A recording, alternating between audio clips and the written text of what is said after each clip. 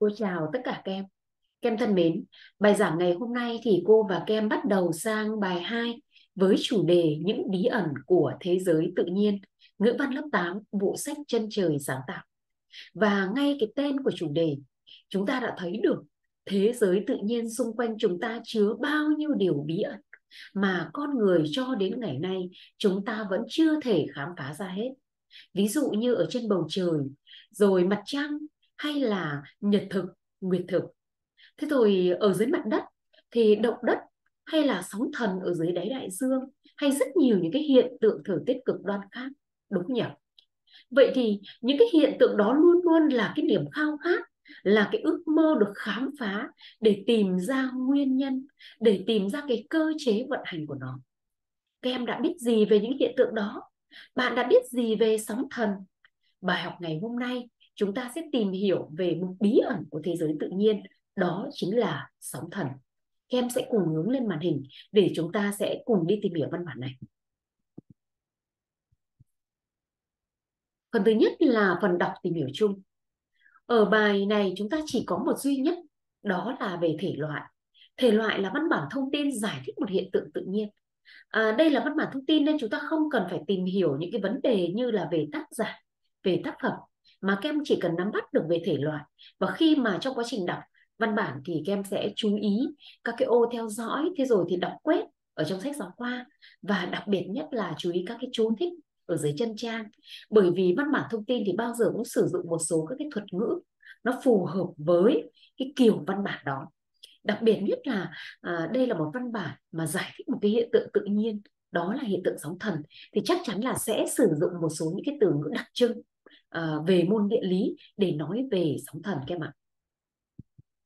Và sang phần hai la mã là tìm hiểu chi tiết. Một nhỏ là mục đích của văn bản. Các em đã học phần tri thức ngữ văn rồi. Thì chắc chắn trong phần tri thức ngữ văn đó, các em đã biết được một số những cái đặc điểm của văn bản thông tin. Khi tiếp cận một văn bản thông tin, các em cần phải nắm được mục đích của văn bản, bố cục của văn bản. Cái bố cục của văn bản là một điều rất đặc biệt bởi vì cái bố cục được sắp xếp theo một trình tự nào thì đấy là dụng ý của tác giả. Thế rồi các phải nắm được các cái thông tin chính tác dụng của việc uh, tác dụng của các cái chi tiết mà để làm rõ các cái thông tin chính. Và điều đặc biệt nhất nhắc đến văn bản thông tin không phải là mới nữa ở lớp 6 đặc biệt nhất lớp 7 khi các em tiếp cận văn bản thông tin thì các em cần phải nhận ra được là cách trình bày thông tin trong văn bản thông tin. Tức là trình bày theo cách nào phải không nhỉ? À, trong bài này thì cô không giới thiệu cho các em phần tri thức ngữ văn nhưng trong quá trình tìm hiểu bài mới thì cô luôn song song nhắc lại một số những cái kiến thức liên quan đến phần tri thức ngữ văn để chúng ta sẽ áp dụng vào cái bài học hôm nay. Hãy trả lời cho cô câu hỏi trên màn hình với phiếu học tập số 1. Một, xác định thể loại của văn bản. Phần thể loại này thì ở lúc nãy chúng ta đã chỉ ra rồi. Hai, theo em, cấu trúc văn bản thông tin về hiện tượng tự nhiên thường chứa những yếu tố nào? Chức năng của các thành phần ấy. Từ đó xác định cấu trúc của văn bản bạn đã biết gì về sóng thần và điền vào cái sơ đồ mà cô đã chiếu ở trên màn hình. Vậy à, ngay cái phiếu học tập này các em đã thấy là cô đã nhắc lại những cái kiến thức ở phần tri thức ngữ văn rồi đấy. Những yếu tố trong một văn bản thông tin về một cái hiện tượng tự nhiên và chức năng của các yếu tố đó. Để từ đó các em soi vào một cái văn bản bạn đã biết gì gì về sóng thần. Để xem là cái văn bản này đã đảm bảo các cái cấu trúc thông thường chưa? Phiếu học tập số 2. Mục đích viết của văn bản trên là gì? Những đặc điểm nào của văn bản để giúp em nhận ra mục đích ấy? Xác định đặc điểm sử dụng từ ngữ của văn bản, bạn đã biết gì về sóng thần? Vậy các em đã thấy ngay cái phiếu học tập số 1 và phiếu học tập số 2, cô luôn luôn bám vào cái đặc trưng thể loại của văn bản thông tin để đưa ra những vấn đề cho các em suy nghĩ ở trong văn bản bạn đã biết gì về sóng thần. Chúng ta sẽ lần lượt trả lời hai câu hỏi này nhé. Đây các em sẽ chú ý. Trước hết, các em thấy cấu trúc của văn bản thông tin. Phần thứ nhất đó là Sapo. Các em còn nhớ Sapo nhỉ? Sapo các em đã bắt đầu được làm quen với uh, ở lớp 6 rồi. Uh, văn bản mà um, ở lớp 6 một số những cái văn bản cô xin lỗi tự dưng cô lại chưa nhớ đến. À, ở đây cô chỉ nhớ lưu ý các bạn này. Sapo là bộ phận in đậm được thể hiện ngay dưới đề mục của văn bản, tức là ngay ngay dưới cái nhan đề của văn bản. Là một bộ phận in đậm, là những cái dòng chữ được in đậm mà được thể hiện ở ngay dưới cái nhan đề của văn bản. Và chức năng của Sapo là để giới thiệu, tóm tắt nội dung bài viết, tạo sự lôi cuốn đối với người đọc. Đấy là chức năng. Vậy, bài mà bạn đã biết gì về sóng thần thì kem thấy rằng có sapo này không? Không, kem ạ. Không có một cái bộ phận in đậm ở ngay dưới nhan đề. Cấu trúc thứ hai của văn bản thông tin là có phần mở đầu. Nhiệm vụ của phần mở đầu là để giới thiệu khái quát về hiện tượng hoặc quá trình xảy ra hiện tượng trong thế giới tự nhiên. Vậy, so sánh với bài bạn đã viết về gì về sóng thần các em thấy có phần này không? Có các em ạ. Chính là phần đầu tiên, chính là phần đầu tiên đã giới thiệu khái quát về sóng thần. Đấy là phần mở đầu cấu trúc tiếp theo của một văn bản thông tin thông thường. Đó là phần nội dung. Chức năng của phần nội dung là để giải thích nguyên nhân xuất hiện cách thức diễn ra của hiện tượng tự nhiên, rồi cung cấp về một số các cái thông tin. Đấy, cung cấp một số các cái thông tin. Vậy ở trong bài bạn đã biết gì về sóng thần? Có phần này không? Có các em ạ. Đương nhiên có rồi. Các em thấy này, có cơ chế hình thành sóng thần này, có nguyên nhân này, dấu hiệu sắp có sóng thần này và đặc biệt nhất là còn giới thiệu được cả một số các thảm họa sóng thần trong lịch sử. Đây chính là phần nội dung, phần trọng tâm nhất ở trong ờ, văn bản thông tin. Và cuối cùng là phần kết thúc. Vai trò của phần kết thúc là thường trình bày một cái sự việc cuối của hiện tượng hoặc tóm tắt nội dung, giải thích điều gì đó. Đối chiếu với văn bản, bạn đã biết gì về sóng thần? Kem thấy có phần này không? Không có kem ạ. À? không thể có. Kem thấy là kết thúc văn bản này là giới thiệu một số những thảm họa về sóng thần trong lịch sử. Sau đó là một cái bức tranh minh họa cuối cùng để nói về cái thảm họa đó. Ngoài ra sẽ không có cái phần kết thúc không có cái phần uh, phần tóm tắt nội dung giải thích hay là có một cái sự việc nào đó cần phải trình bày. Đấy là uh, trên cơ sở này cô đã chỉ ra cho các em cấu trúc của uh, một cái văn bản bạn đã biết gì về sóng thần. Có phần mở đầu có phần nội dung đấy là cấu trúc. Chúng ta tiếp tục. Mục đích của văn bản. Đây là những cái phần trọng tâm. Nó bám vào đặc trưng thể loại các em nhé. Mục đích của văn bản. Bạn đã biết gì về sóng thần? Giải thích một số vấn đề liên quan đến hiện tượng sóng thần. Hay nói khác, mục đích chính là cung cấp thông tin cho người đọc về hiện tượng sóng thần. Vậy, cung cấp những thông tin gì? Một là cách hiểu về khái niệm sóng thần. Thông tin thứ hai cơ chế hình thành và nguyên nhân dẫn đến hiện tượng sóng thần. Thông tin thứ ba, dấu hiệu sắp có sóng thần. Và thông tin thứ tư, các thảm họa sóng thần trong lịch sử. Trong bốn thông tin này, thì các thảm họa sóng thần trong lịch sử, đây là thông tin chính nhất của văn bản. Lại quay trở lại đặc trưng của văn bản thông tin. Khi các em tìm hiểu các em phải nắm được đâu là thông tin chính. Và thông tin chính đó được thể hiện ở các chi tiết nào? Các chi tiết đó có vai trò như thế nào? Làm, để làm nổi bật cái thông tin chính. Tất cả vẫn quay trở lại bám vào phần chi tiết tự văn để các em khai thác văn bản vậy trong bốn thông tin này, thì cái thông tin thứ tư đó là các thảm họa sóng thần trong lịch sử, đây là thông tin chính. Tại sao cô lại khẳng định đây là thông tin chính? Kim biết là một cái văn bản thông tin bạn đã biết gì về sóng thần? Đâu phải chỉ để cho người đọc hiểu sóng thần là gì. Đâu phải chỉ để cho người đọc hiểu được nguyên nhân hay cơ chế hình thành, mà cơ bản nhất chính là cho người đọc hiểu được cái thảm họa của sóng thần. Để từ đó chúng ta có những giải pháp để phòng tránh. Có đúng không nào? Đấy chính là những cái thông tin chính trong văn bản. Và tất cả những cái thông tin này được thể hiện từ nhan đề, từ hệ thống đề mục cho đến nội dung của toàn văn bản. Qua đó ta có thể khẳng định đây chính là một văn bản thông tin giải thích về một hiện tượng tự nhiên em nhớ nhé bạn đã biết gì về sóng thần là một văn bản thông tin để giải thích một hiện tượng tự nhiên? Về từ ngữ. Từ ngữ thì đây là văn bản thông tin. Do đó mà văn bản có sử dụng một số các cái từ ngữ thuộc chuyên ngành khoa học địa lý.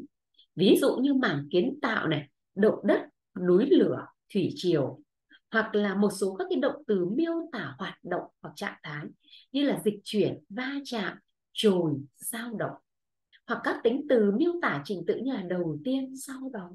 Tất cả những cái từ này đều nằm trong cái chuyên ngành khoa học địa lý. Em thấy. Hay người ta còn gọi là thuật ngữ đấy. Người ta có thể gọi là thuật ngữ. Bởi vì văn bản thông tin giải thích một cái hiện tượng tự nhiên thuộc lĩnh vực khoa học địa lý. Do đó mà người ta sẽ sử dụng một số những cái từ ngữ thuộc chuyên ngành môn địa lý các em sẽ cùng chúng uh, cùng, cùng hướng lên màn hình để quan sát và trả lời cho cô phiếu học tập số 3 tiếp theo. Chỉ ra cách trình bày thông tin trong văn bản thông tin nói chung.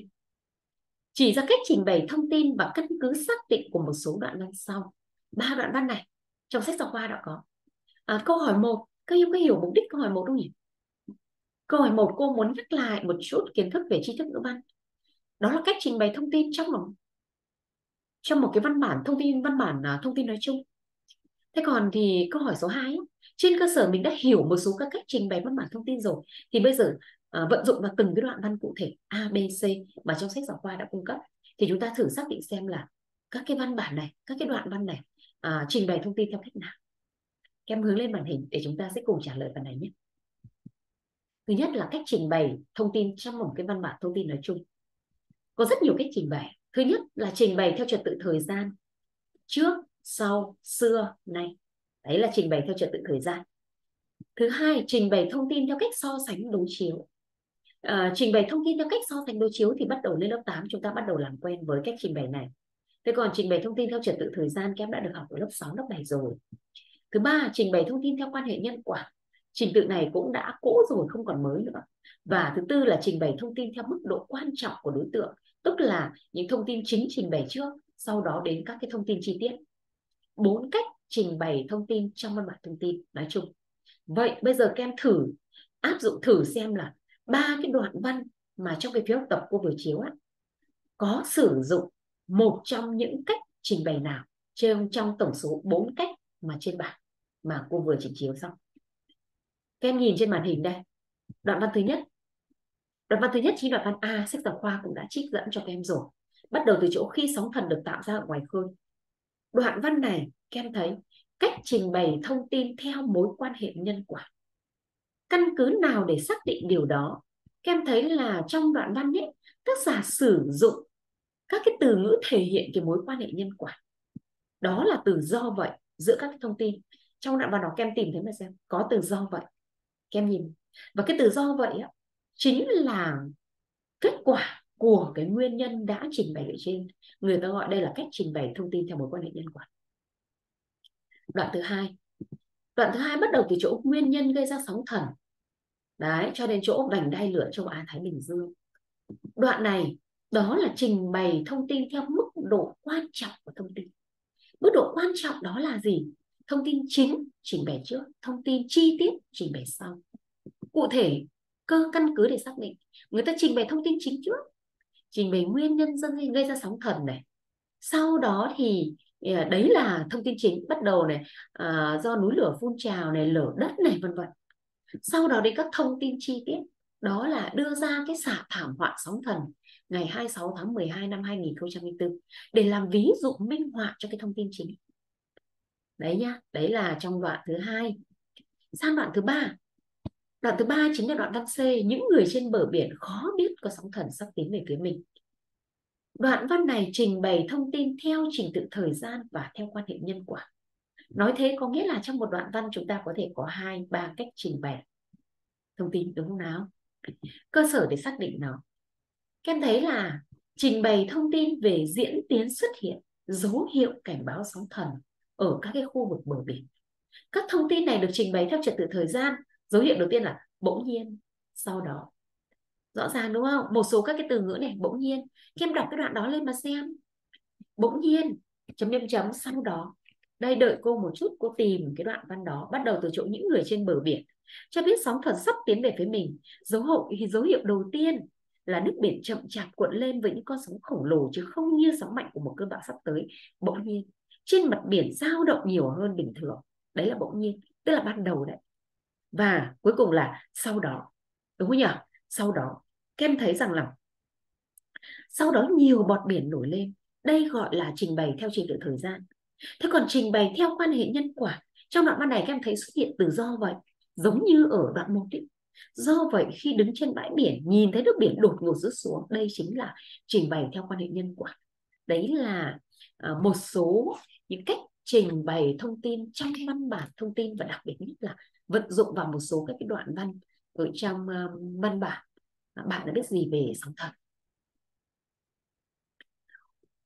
Đây cô vừa nói rồi trình bày theo quan hệ nhân quả đó là sử dụng các cái từ ngữ thể hiện mối quan hệ nhân quả như là do vậy. Đấy phần này cô vừa nói rồi. Nhé sang với học tập số 4 sóng thần là gì? Chúng ta có dễ dàng nhận thấy dấu hiệu báo trước của sóng thần hay không? Vì sao? Cơ chế hình thành sóng thần diễn ra như thế nào trình bày quá trình dịch chuyển của sóng thần kể tên một số loại phương tiện phi ngôn ngữ được sử dụng trong văn bản thông tin à, và đặc biệt nhất là văn bản bạn đã biết gì về sóng thần sử dụng những loại phương tiện phi ngôn ngữ nào và nhận xét về hiệu quả biểu đạt của chúng trong văn bản. Trong ờ, năm câu hỏi này thì có cái câu hỏi số 5 ấy, là câu hỏi cô lại nhắc lại một chút về tri thức ngữ văn. Đó là kể tên một số loại phương tiện phi ngôn ngữ được sử dụng trong văn bản thông tin thực ra các phương tiện phi ngôn ngữ được sử dụng trong văn bản thông tin thì các em đã được học ở lớp 7 rồi, lớp 6 cũng đã bắt đầu được được làm quen rồi chứ phải không đâu. Và ở đây điều quan trọng nhất là ta phải nhận ra được ở trong cái văn bản bạn đã biết gì về sóng thần thì có những cái phương tiện phi ngôn ngữ nào. Chúng ta sẽ chuyển sang phần 2 giới thiệu khái quát và quá trình xảy ra hiện tượng sóng thần. Và tìm hiểu phần 2 chính là trả lời cho phía học tập mà cô vừa trình chiếu ở trên màn hình. Quan sát trên màn hình một số những hình ảnh về sóng thần. Nếu như bây giờ mà các em chỉ cần tìm một cái từ khóa về sóng thần ở trên internet thì có rất nhiều những hình ảnh, có rất nhiều những hình ảnh và có rất nhiều những thông tin các em ạ. Thứ nhất, các em thấy sóng thần là một chuỗi sóng biển chu kỳ dài lan truyền với vận tốc lớn. Đến đây thì cô luôn nhắc các em nhé, nếu bạn nào theo dõi video của cô thì tất cả những cái chữ màu xanh dương ở trên màn hình là chữ mà các em cần phải ghi chép ở trong vở. Nên các em có thể vừa học và vừa có thể tự học được rồi đấy. Tự học và có thể tự ghi chép được. Sóng thần không phải là những ngọn sóng ầm ầm quần quận tiến về đất liền mà ta có thể mục kích và nghe được âm thanh. Tức là không phải là một sóng to lớn mà ta có thể nhìn thấy, mà ta có thể nghe được âm thanh đó. Ngay cả khi ngồi trên thuyền ở ngoài khơi, bạn không thể biết trước sóng thần bắt đầu xuất hiện. Tức là ngay cả khi ta mà, ta đang ngồi ở ở trên biển ở ngoài khơi, ta không thể phát hiện ra được, kèm có thể thấy hay nói khác là không thể nhận thấy dấu hiệu báo trước của một cơn sóng thần. Chính vì thế nó mới có nguy hiểm các em không thể nhận ra. Đấy, các em quan sát một số hình ảnh thì các em có thể thấy một cái chuỗi sóng dài và nó lan truyền với một cái vận tốc rất là lớn. Cơ chế hình thành sóng thần. Nhìn ở trên à, một cái mô hình ở trên sách giáo, trong sách giáo khoa, cô đã trình chiếu ở trên màn hình để các em thấy. Thứ nhất là vị trí số 1 vị trí số 1 đờ ban đầu, đó là sự thay đổi của mảng kiến tạo gây ra một trận động đất và làm dịch chuyển đất biển như vậy thì ta đã biết ngay nguyên nhân dẫn đến hiện tượng sóng thần trước hết là do động đất. Và động đất ngay ở dưới đáy đại dương. Và chính cái sự động đất này, nó làm dịch chuyển cái mảng kiến tạo. Đấy, và điều đó nó làm cho nước biển cũng bị dịch chuyển. Thứ hai, cơ chế hình thành thứ hai, đó là những con sóng được tạo ra và di chuyển ra mọi hướng trên biển. Một số con sóng di chuyển rất là nhanh. Khi mà nước biển nó bắt đầu dịch chuyển thì có những con sóng, tạo những con sóng di chuyển rất là nhanh. Cái thứ ba là khi vào vùng nước nông thì những con sóng bị nén ép lại tốc độ chậm hơn và chính vì vậy nên nó càng trở nên cao hơn. Tức là khi mà sức ép càng lớn thì cái tốc độ của nó, cái sức bứt phá của nó càng mạnh. Em biết là cả một khối nước khổng lồ, cả những cơn sóng to mà khi nó đi di chuyển dần vào vùng nước nông, nó không có đủ sức chứa, nó bị chèn ép, nó không đủ sức chứa, thì nó lại càng bùng lên một cách mạnh mẽ. Và cái cơ chế thứ tư, cơ chế thứ tư, các em thấy, đó là chiều cao của những con sóng tăng lên và những dòng biến biến cố có thể liên quan, được tăng cường, tất cả đã trở thành mối đe dọa đến tính mạng và tài sản của con người. Các em thấy, đấy, những dòng biển có liên quan các em chú ý nhé chiều cao của những con sóng à, được tăng lên và những cái dòng biển có liên quan được tăng cường. Tất cả trở thành mối đe dọa đến tính mạng và tài sản của con người. Đấy chính là cơ chế hình thành sóng thần.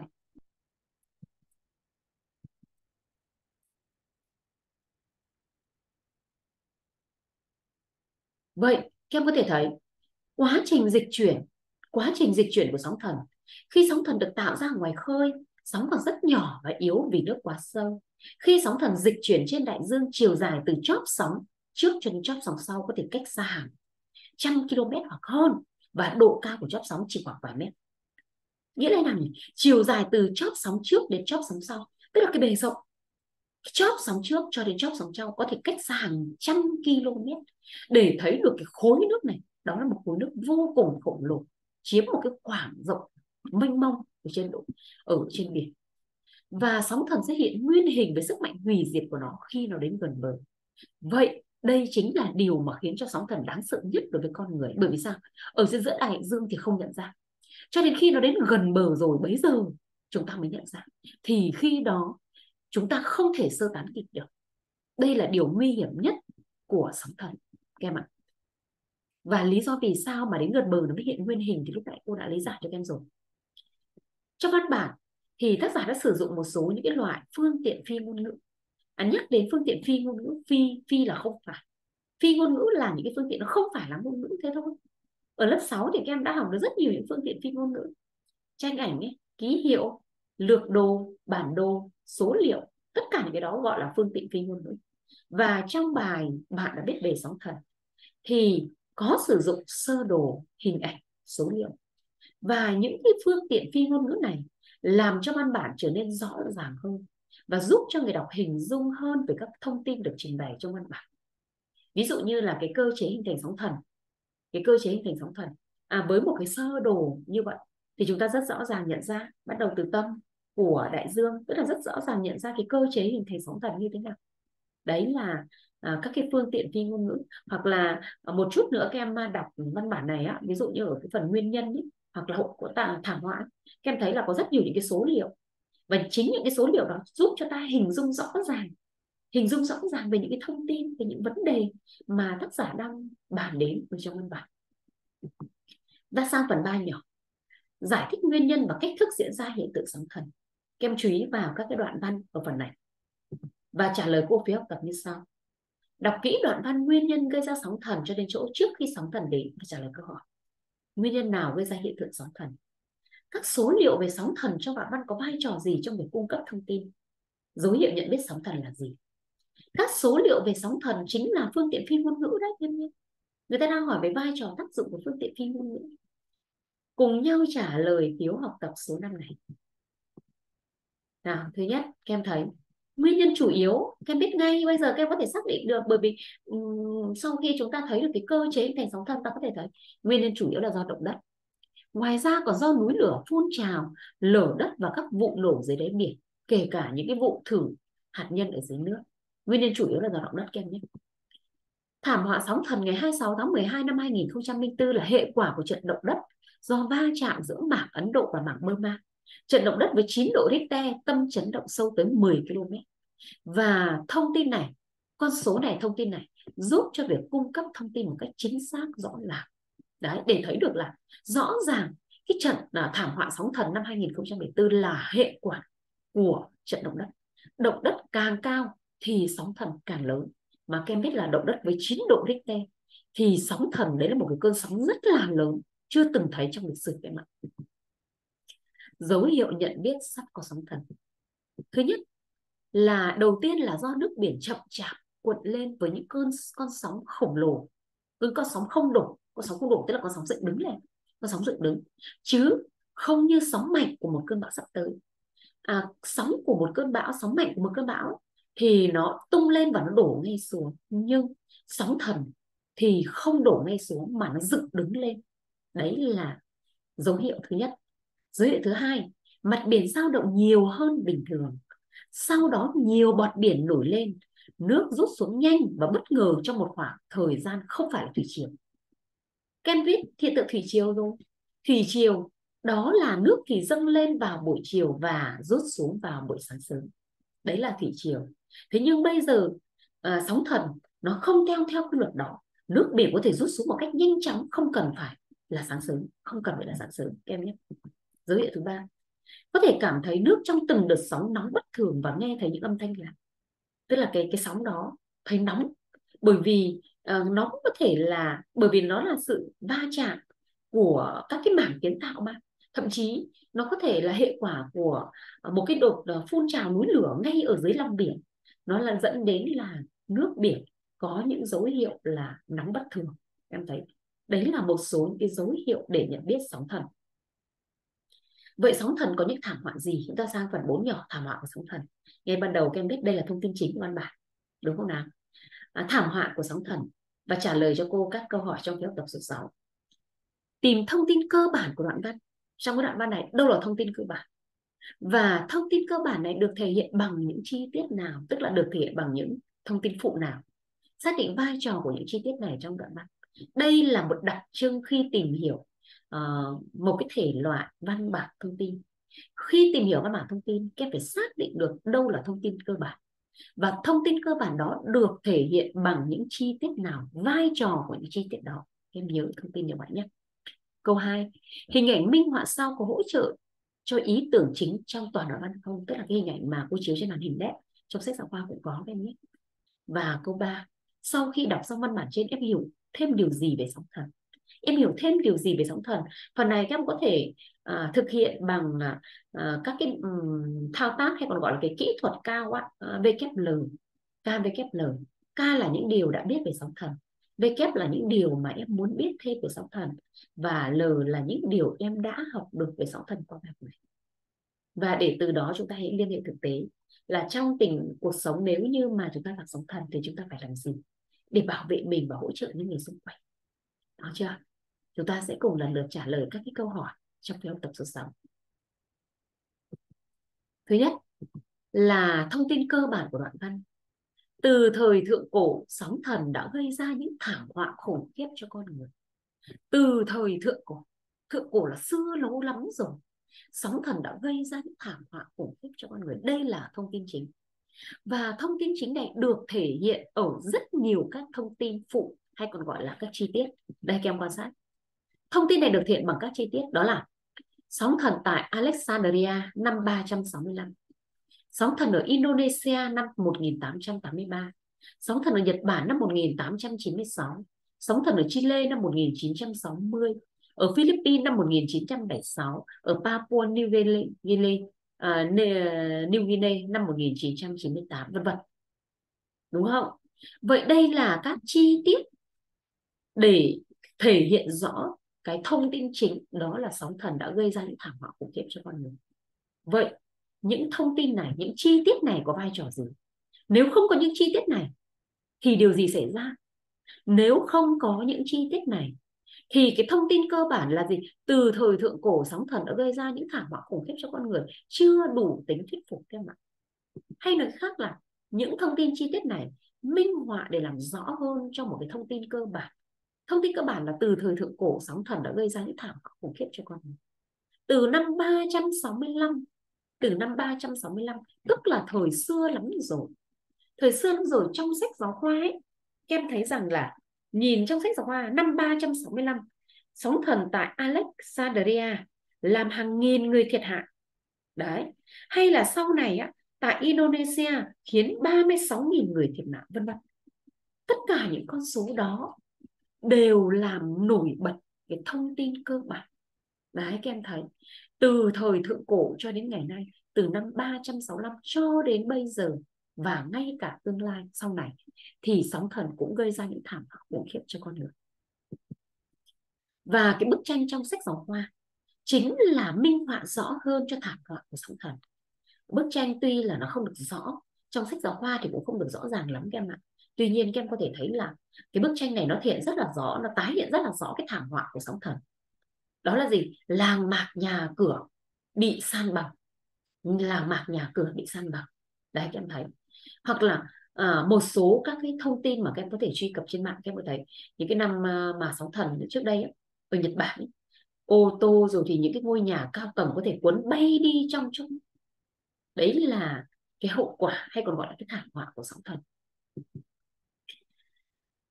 những điều qua văn bản này thì ta biết thêm được những điều gì về sóng thần những điều em đã biết về sóng thần như cô vừa nói là phần này các em có thể điền vào cái bảng KVGL có thể nhưng cũng có thể là không có thể em trả lời luôn được. Vậy thì, thì qua văn bản này em biết được gì về sóng thần em đã biết điều gì về sóng thần chắc chắn một số những cái hậu quả một số những cái tác hại sự nguy hiểm của sóng thần có lẽ chắc là các em cũng đã biết được một chút nào. Tuy nhiên chưa kỹ chưa hết những điều em muốn biết thêm về sóng thần có thể mình muốn biết thêm về cái cách nào đó để giảm thiểu thiệt hại do sóng thần gây ra. Có thể muốn biết thêm về cái dấu hiệu nào để nhận biết rõ hơn về sóng thần hoặc là có một cái thiết bị nào cảnh báo sóng thần chẳng hạn. Đấy là những điều mà mình muốn biết thêm nhiều lắm các em ạ. Ở đây các em có thể tự do nhé. Các em có thể thấy được là mình có thể là mình biết thêm những cái điều khác ngoài cái sự nguy hiểm ra có bạn có thể biết được là nguyên nhân gây ra sóng thần khi chưa đọc văn bản này. Chứ không cứ là giống như cô. Đấy. Rồi những điều em đã học được về sóng thần qua bài học này, thì đương nhiên rồi. Trong sách giáo khoa đã cung cấp cho chúng ta những thông tin gì thì chúng ta sẽ biết.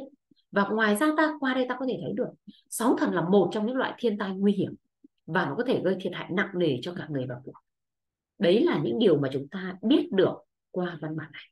Vậy, bạn đã biết gì về sóng thần? Bạn đã biết gì về sóng thần nhỉ?